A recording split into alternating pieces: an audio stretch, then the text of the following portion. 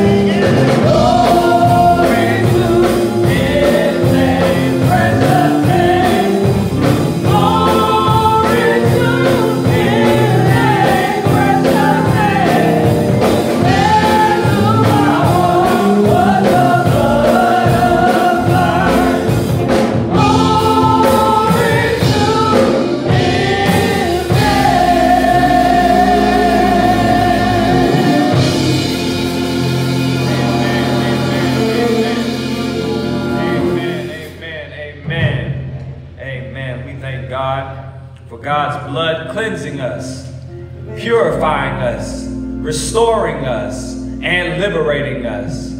Amen. Let us pray.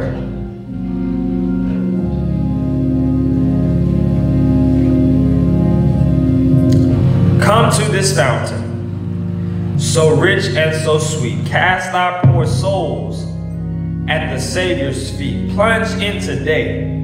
Plunge in today and be made complete. Glory, glory to his name. God, we gather once more and again to first and foremost say thank you. Thank you, Lord, for yet again another day.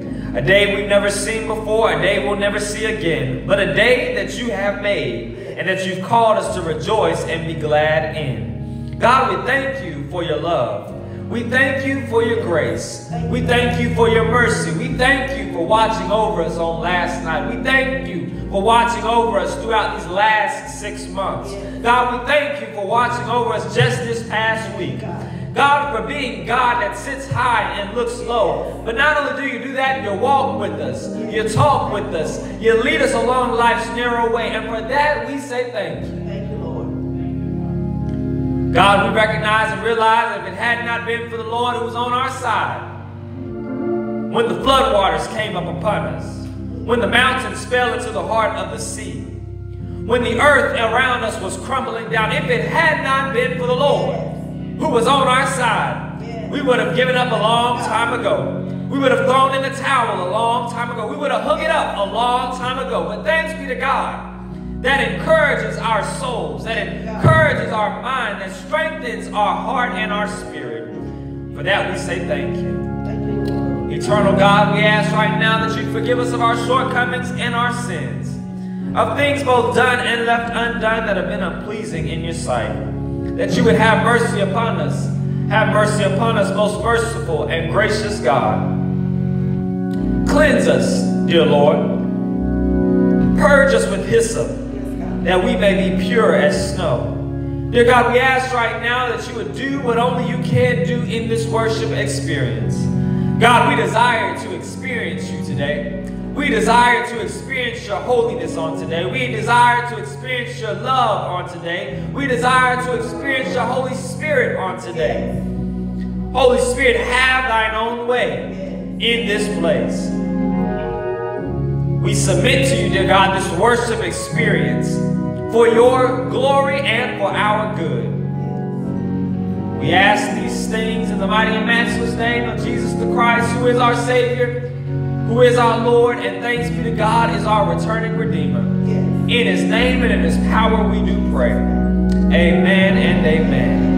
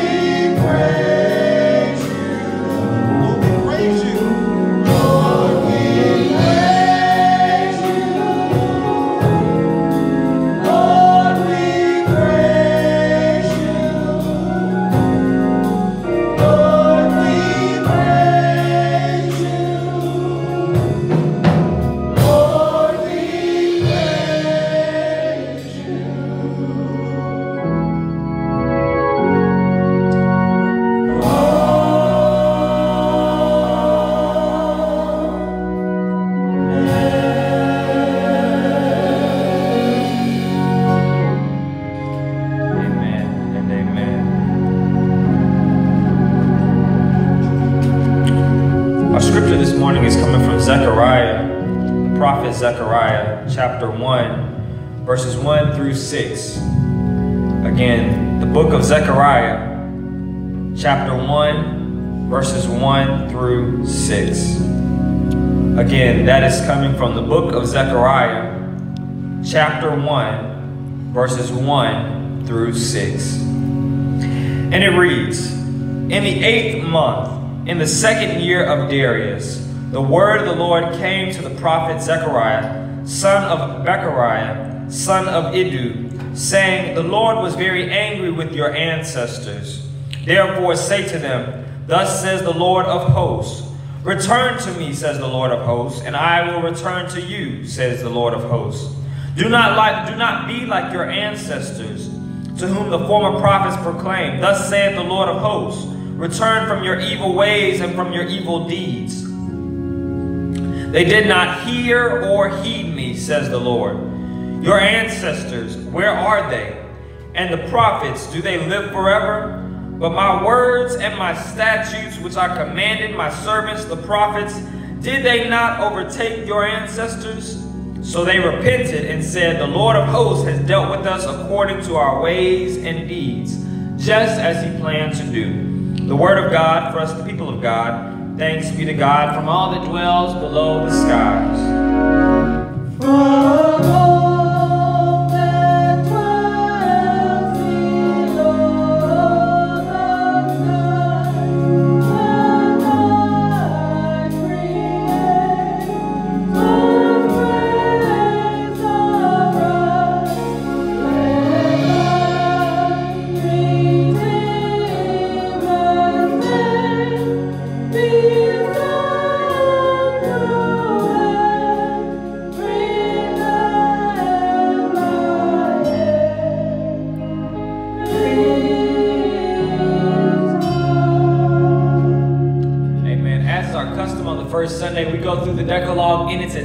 In order to remember God's covenant with us.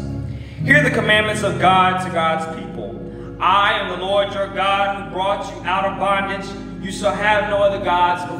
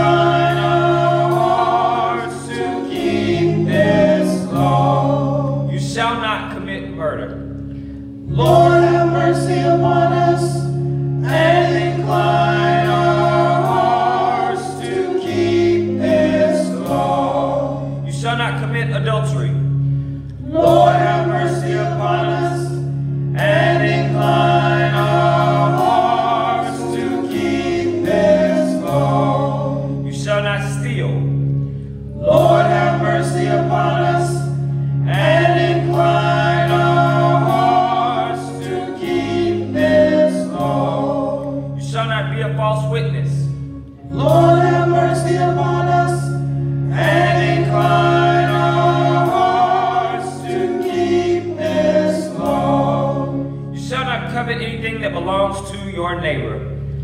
Lord, have mercy upon us and incline our hearts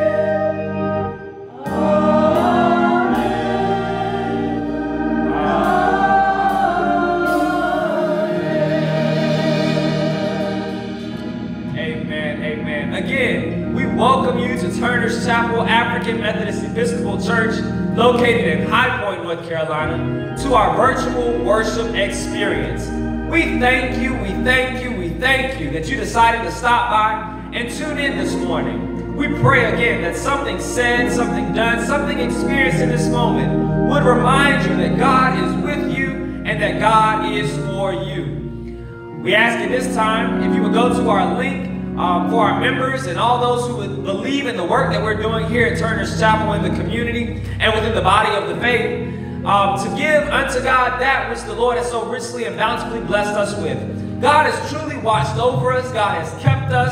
God has provided for us. God has protected us in these times. And so God just asks that we give a tenth of that which we have received, that which we have been blessed with. The link to our Givelify is located in the comments.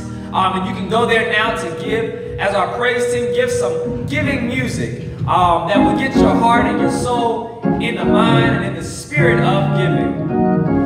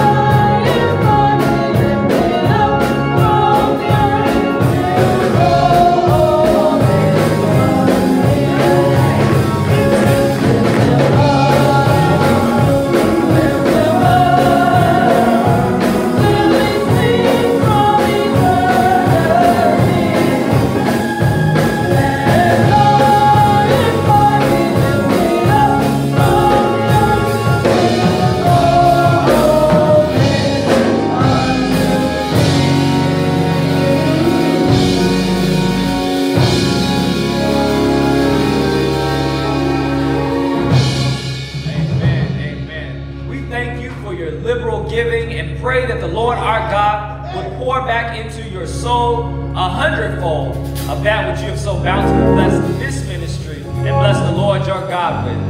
Amen and amen. All things come of thee, O Lord.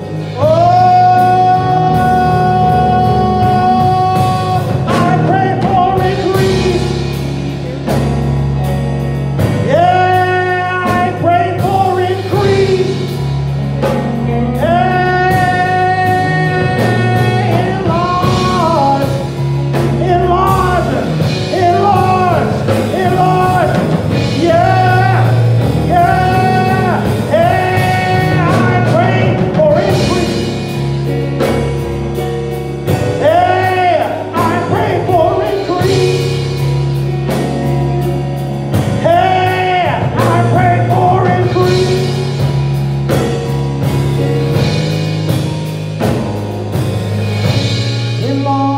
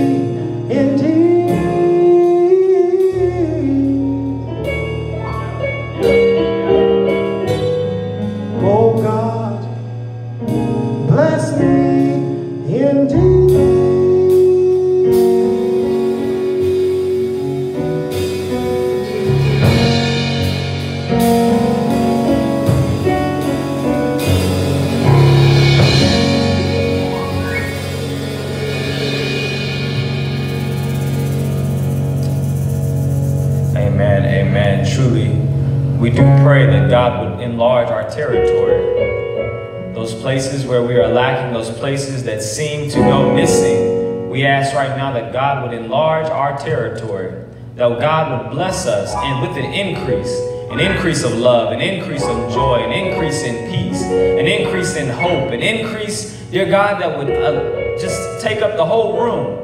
God, we bless for that. We ask for that. We ask for that. We ask for that. To this praise team and our musicians this morning for leading us so dutifully in worship, we give God thanks we give God praise. To our sound and our tech ministry for holding us down, we give God thanks. To our trustee, our, our, our trustee that keeps us safe, we give God thanks. We give God thanks. And to the God that has made it all possible for us to gather and wake up this morning, we give him thanks for all that God has done up until this very appointed time. God has woke us up this morning, started us on our way, clothed us in our right minds, gave us a reasonable portion of our health and our strength, gave us the activity of our limbs. If God doesn't do anything else in our lives, he's already done more than enough. More than enough. More than enough to tell him thank you. More than enough to praise his name. More than enough to shout hallelujah. More than enough to give him all the honor, glory, and the praise. This morning, this morning, our scripture was read earlier in your hearing, but I want to read it again for your refreshment so that it will be fresh. It comes from Zechariah, the sixth chapter, the first chapter, verses 6 through verses 1 through 6. Zechariah, the first chapter, the first chapter of Zechariah, the prophet Zechariah, verses 1 through 6. And it reads In the eighth month, in the second year of Darius, the word of the Lord came to the prophet Zechariah, son of Berechiah, son of Iddo, saying, The Lord was very angry with your ancestors. Therefore, say to them, Thus says the Lord of hosts, Return to me. Thus says the Lord of hosts, Return to me, says the Lord of hosts, and I will return to you, says the Lord of hosts. Do not be like your ancestors to whom the former prophets proclaimed, Thus says the Lord of hosts, Return from your evil ways and from your evil deeds. But they did not heed nor hear, says the Lord. Your ancestors, where are they? And the prophets, do they live forever? But my words and my statutes, which I commanded my servants the prophets, did they not overtake your ancestors? So they repented and said, The Lord of hosts has dealt with us according to our ways and deeds, just as he planned to do. The word of God for us, the people of God. Thanks be to God. And this morning, the sermon must have a title, if this be it, Called to Do It Differently. Called to do it differently. Let us pray. Gracious and all wise God, we've gathered again to say thank you. To say thank you for the gift of a new day.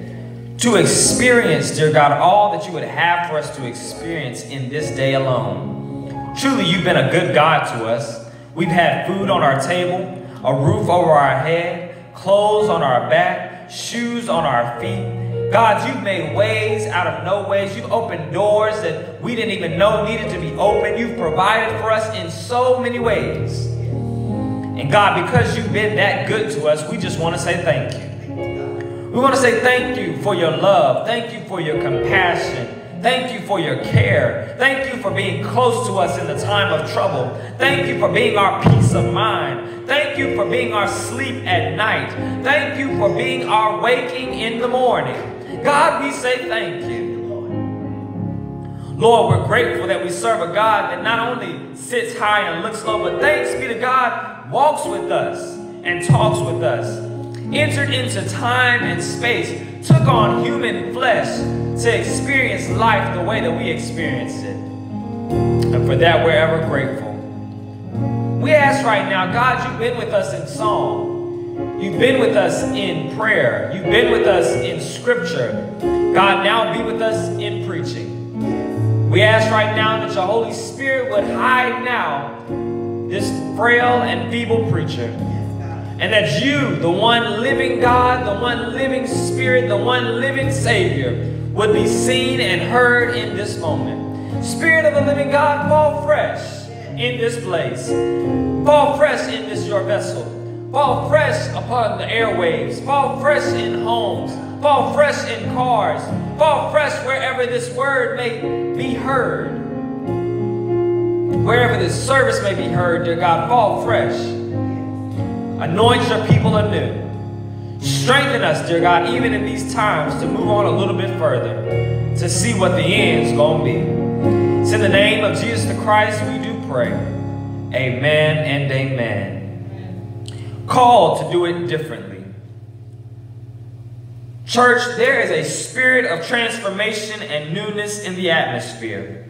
We cannot deny that the God we serve is up to something new and different.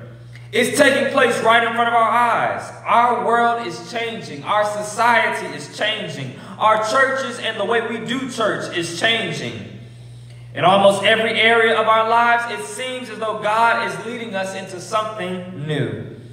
As such, it is calling us ourselves to do and move differently than we have in the past, as well as different than our ancestors. Church, what we must realize is that when God is doing something new and renewing in our lives, God calls us too to do things differently. God sometimes calls us to move differently than those before us. In our passage this morning, God is calling on Israel to not make the same mistakes as their ancestors, mistakes that cost them freedom, liberation, and deliverance. The prophet Zechariah, through the prophet Zechariah, God has called the people to repent of their sins, the sins that dismantle and hinder society from living up to who God called and crafted them to be. The wisdom and legacy of the ancestors is necessary for change and for moving things forward.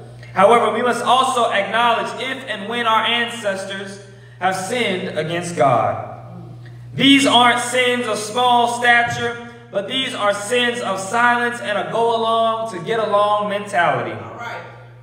These are sins that have allowed racism to fester, grow, and mature into the beast it is today. In actuality, white people of this generation and this lifetime must choose to do things differently than their ancestors before them. While many did not own slaves or possibly did not fly the Confederate flag, the privilege that whiteness has afforded them allowed them to operate in ways of complicity when these actions took place. This morning, just as the prophet calls the nation of Israel to a place of repentance, I call us to a place of both repentance and surprise. Repentance opens us up to the possibility of God doing a new thing. As such, we've been called to do this thing called life differently than our foremothers and forefathers, a way that is more liberating, more loving, and more just. On top of this, I need you to realize this morning that just because it didn't work out for your father or your mother doesn't mean that it won't work out for you. Just because it didn't happen for your ancestors doesn't mean it won't happen for you. I don't know who I'm talking to this morning, but God is saying, I'm restoring back unto you your family, favor and joy, love and peace through you. But you've got to do things differently. You can't expect different results with the same practices. Rather, you must first repent and seek to do things differently. If you leave with nothing else from this morning's sermon, take this with you. God wants to restore and reconcile us back to God through his son, Jesus Christ. However, in order for this to happen, we must first repent of the ways in which we have failed and have failed God and the purposes of love and justice. Understand what our ancestors did wrong and seek to do things differently. Then we can see the hand of God working in us to bring forth something different. Our setting this morning takes place during the Persian period, post-Babylonian exile, during the time of rebuilding the temple. The prophet Zechariah's name means God remember, remembered. Isn't it good to know that even in the midst of suffering and shame, heartache and pain, God remembers? His name prepares him for his ministry, which will be to remind the people of their covenant with God and the building of the temple. Israel has a murky history. Israel's history is thwarted with issues of idolatry and selfishness. At nearly every turn, they participate in a pattern. God delivers, the people rejoice. God blesses, the people rebel. God punishes, the people repent. God restores, repeat the cycle. This has plagued Israel since their days at the Red Sea. Yet, at each and every turn, God shows God's self to be faithful, to be a redeemer, and to be a restorer. Isn't that like our testimony? God has blessed us, yet we rebel and suffer the consequences. Nevertheless, God hears our plea and then restores us back to the joy of his salvation. I just wish I had a couple of witnesses in the virtual world who can attest to the relationship God has with his people. They may struggle and fall, but at every turn, God picks us up, turns us around, and places our feet on solid ground. So Zechariah steps in to warn the people that God is tired and fed up with the cycle. God wants them to move differently than their ancestors. God wants them to accomplish greater in the will of God. God wants to restore back everything that the cankerworm and the locust devoured. But in order to do this, they must live into the covenant God has made with them. No more taking the name of God in vain, not simply through poor word choices, but in not believing God will do what God said God would do. No more dishonoring the elders, but supporting and affirming the work of the elders. No more murdering their neighbor, but loving them and looking out for them instead. These are the steps Zechariah is trying to get the people to take in order for them to be righteous before God. And to do this takes imagination. It takes the words and the works of the prophets to live and do life differently. It takes eradicating the old and uninspired with the new and the life-giving. Truly, having an imagination that seeks to expand the vision of God is necessary for Israel to live into who God has called them to be. Not only does it take imagination, but it also takes repentance. I know that's not a word that we like to hear, that's not used too often in the 21st century, but repentance is still necessary according to the will of God. Repentance is key to understanding the ways of God and the restoration of God. Repentance essentially says, I turn away. I do a 180 from the very thing that is severing my relationship with God, and I move forward in a path that is both pleasing to God and healing for myself. It can be difficult, however, because just as Israel, we develop patterns in our relationship with God. Patterns that have our typical response, our typical language, our typical reactions, and go about our normal day. Nevertheless, whatever the case may be, and however long we've been in it, God through Zechariah is saying that it's not only the way, that it's not the only way, and that it doesn't have to be like this. Now is the time for you to do something different toward the covenant and toward your life. We aren't too far from where Zechariah stands in his message today. Throughout the world, the prophets of old and of those of today, we hear, we hear the call to do something different. We're hearing the call not just to not be racist, but to actively be anti-racist. We're hearing the call of tearing down monuments of hate to build and erect statues that embody our better angels. We hear calls across society to do education, school, jobs, church, and so much more differently than how we have in the past. And why is this? It's because the ways of old at times left many in the dark or out of the scope. It left people on the sidelines instead of in the game where they deserve to be. And as such, in the creation of a new society, a new way of thinking, we expand the privileges once bestowed on only a few to many. Church, it's no secret that we as a nation must and a world must repent. We must repent of our silence. We must repent of our complicity.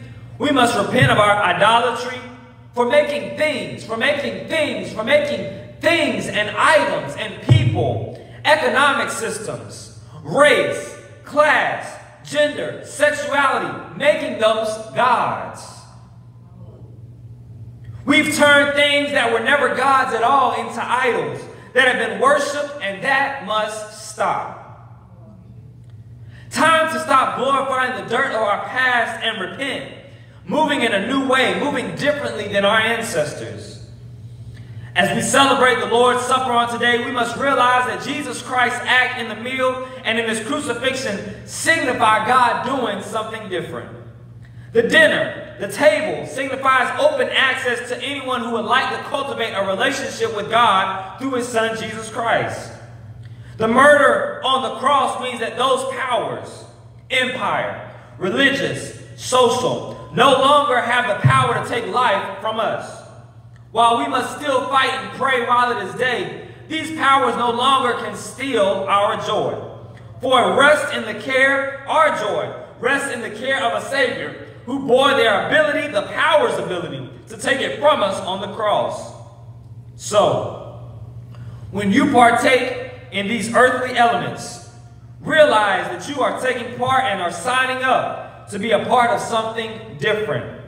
Different in the way we live different in the way we think, different in the way we seek to aid and uplift one another, different in how we organize our priorities. In the name of the Father, and of the Son, and of the Holy Spirit. Amen and amen. Amen.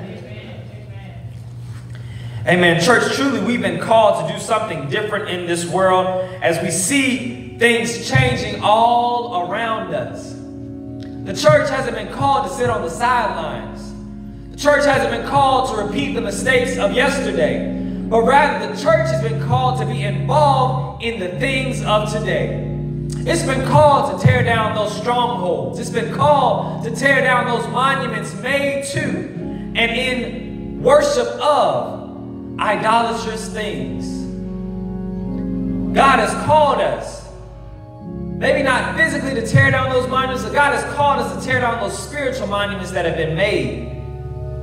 God has called for us to do that. And so this morning, if you're unaware or unsure of what God has called you to do in this moment, I know a man that can guide you, that can lead you, that can direct you, that can help you understand what you've been called to do in this moment.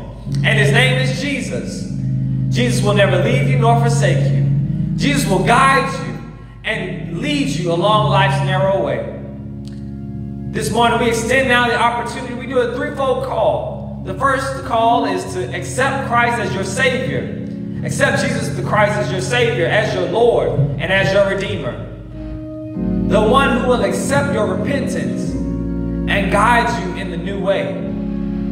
The second call is for anyone looking for a church home. Because truly, you can't do something new all by yourself. We can't do it by ourselves. We have to be in community to do it together. And what better place to be than Turner's Chapel AME Church to join our virtual, our virtual worship experience, but also join us as a body of believers. And that last call is if you're needing prayer to simply drop a line in the comments or drop us a line in the inbox. And we'll be sure to lift you up on our Monday morning prayer line. Amen and amen. Let us pray. God, we thank you that you're calling us to do something different. In a time when things are falling down, crumbling down, you're calling us to build. You're calling us to restore. You're calling us to heal. You're calling for us to manufacture and be a part of the building and the unfolding of your kingdom here on earth. Such, God, we pray right now that you would give us the strength, the will, and the mentality to do just that. We ask these things, dear God, that as we move differently in this world, it might be a light to someone else. It might be an encouragement to someone else. It might be help or aid to someone else. We pray this, asking for this. Pray for our sick and our shut in, those bereaved families, and those who are less fortunate than ourselves. Asking, dear God, right now that you would visit the sick and shut in, comfort them and keep them. Remind them, dear God, that you've not left them nor have you forsaken them.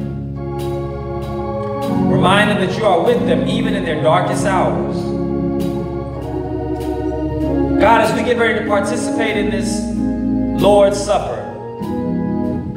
Might we be reminded, might we be encouraged, and might we know that in this meal we sign up to do life differently. We sign up to do life differently. We sign up to say that the powers of this world have no power over us. We sign up to say that the Holy Ghost has given us something that the world can't, didn't give, and that the world can't take away. We sign up to be movers and shakers. We sign up to cast down the spirit of silence and complicity. In the name of Jesus the Christ, we do pray. And the people of God said, Amen and Amen.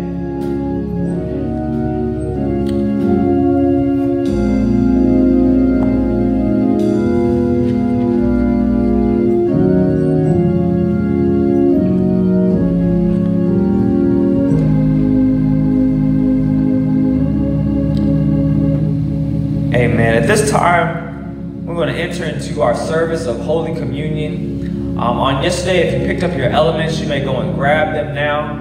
Um, have them with you as we get ready to go through the service of Holy Communion.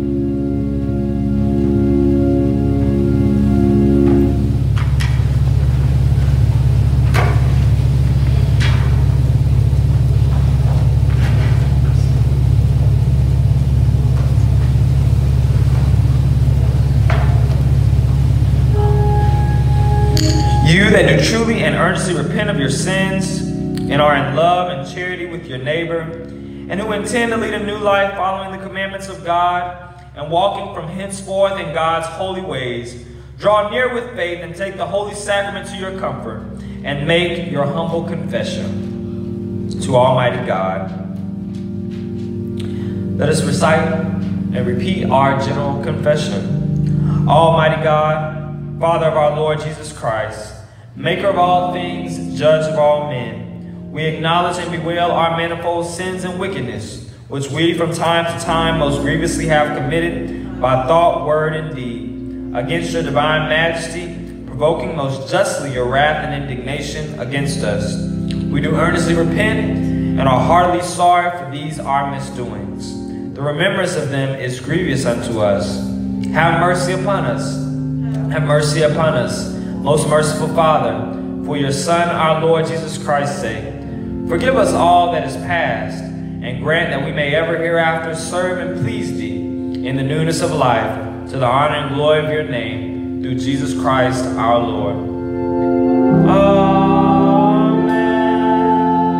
Almighty God, our Heavenly Father, who of your great mercy has promised forgiveness of sins to all them that with hearty repentance and true faith turn unto you, have mercy upon us.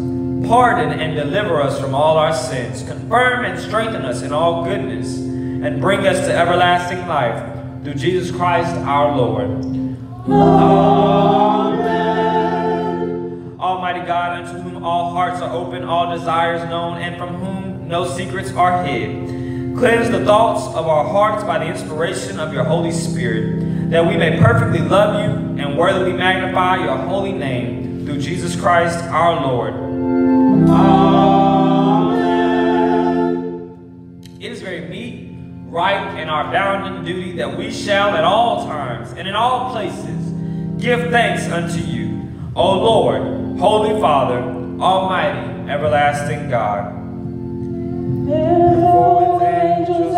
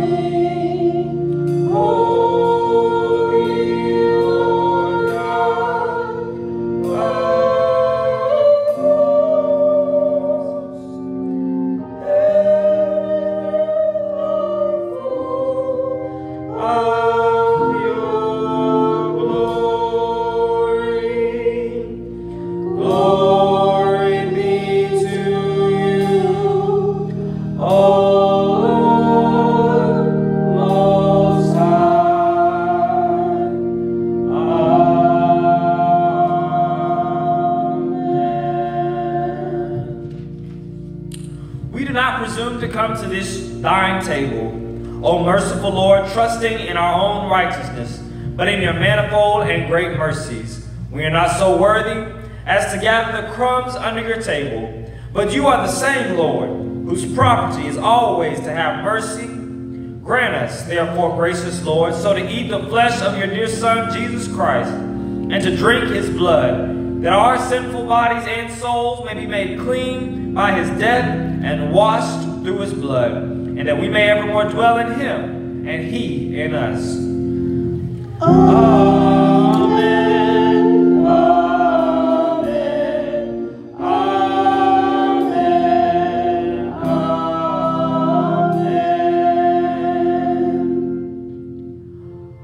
Almighty God, our Heavenly Father, who of your tender mercy did give your only Son, Jesus Christ, to suffer death on the cross for our redemption, who made thereby his oblation of himself, once offered a full, perfect, and sufficient sacrifice, oblation, and satisfaction for the sins of the whole world, and did institute, and in his holy gospel command us to continue a perpetual memory of that his precious death until his coming again. Hear us, O merciful Father. We most humbly beseech you and grant that we receiving these your creatures of bread and wine, according to your Son, our Savior, Jesus Christ's holy institution, in remembrance of his death and passion, may be partakers of his most blessed body and blood, who in the same night he was betrayed took the bread.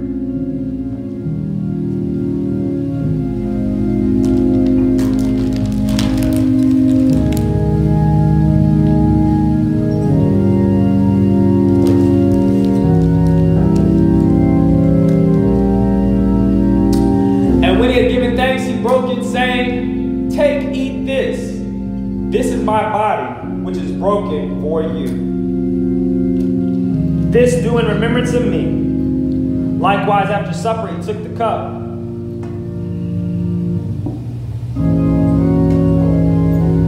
And when he had given thanks, he gave it to them, saying, Drink ye all of it, for this is the blood of the new covenant, which is shed for you and for many for the remission of sins. Do this in remembrance of me, as often as ye shall drink it.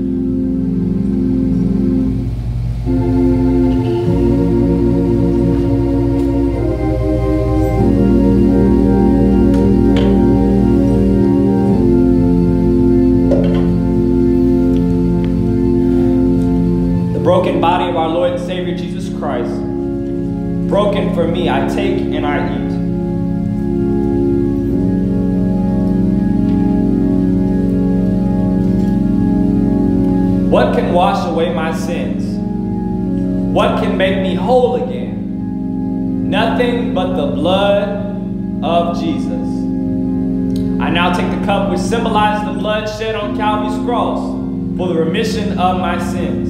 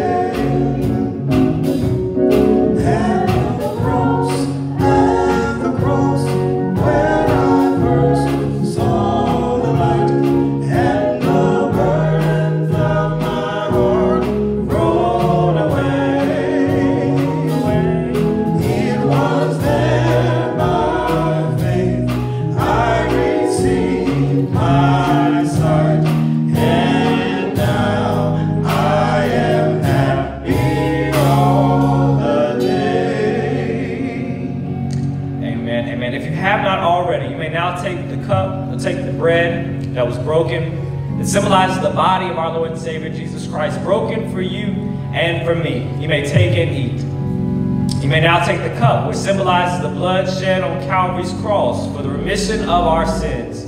You may take and drink. Having renewed your covenant with Almighty God, you may now arise to live in love and charity with your neighbor. Let us pray the prayer that our Lord and Savior Jesus Christ taught us when he said, Our Father, who art in heaven, hallowed be thy name. Thy kingdom come, thy will be done, on earth as it is in heaven. Give us this day our daily bread, and forgive us of our trespasses, as we forgive those who trespass against us. And lead us not into temptation, but deliver us from evil. For thine is the kingdom, the power, and the glory, forever and ever. Amen. O Lord, our Heavenly Father, we, your humble servants, desire your fatherly goodness, mercifully to accept this our sacrifice of praise and thanksgiving. Most humbly beseeching you to grant that by the merits and death of your Son, Jesus Christ, and through faith in his blood, we and your whole church may obtain remission of our sins and all of the benefits of his passion. And here we offer and present unto you, O Lord, ourselves, our souls, and our bodies to be a reasonable, holy, and living sacrifice unto you, humbly beseeching thee that all we who are partakers of this holy communion may be filled with your grace and heavenly benediction. And although we be unworthy through our manifold sins to offer unto you any sacrifice, yet we beseech you to accept this our bounded duty and service, not weighing our merits, but pardoning our offenses. Through Christ our Lord, by whom, with whom, in the unity of the Holy Spirit, all honor and glory be unto you, O Father Almighty, world without end. Amen. Amen and amen. We're thankful again that you decided to worship with us this morning and participate in this Holy Communion service. Truly, it is what gives us and reminds us of God's sacrifice in the death of his Son, Jesus the Christ. We ask and pray now that you would have a beautiful and blessed week as we affirm our faith, that which we believe as both AMEs and as Christians in the Apostles' Creed. I believe in God the Father Almighty, the maker of heaven and earth, and in Jesus Christ, his only Son, our Lord, who was conceived by the Holy Spirit, born of the Virgin Mary, suffered under Pontius Pilate, was crucified, dead, and buried. The third day he arose from the dead. He ascended into heaven and sitteth on the right hand of God the Father Almighty. From thence he shall come to judge the quick and the dead. I believe in the Holy Spirit, the church universal, the communion of saints, the forgiveness of sins, the resurrection of the body, and life everlasting. Amen. Praise God. Praise God, from whom all blessings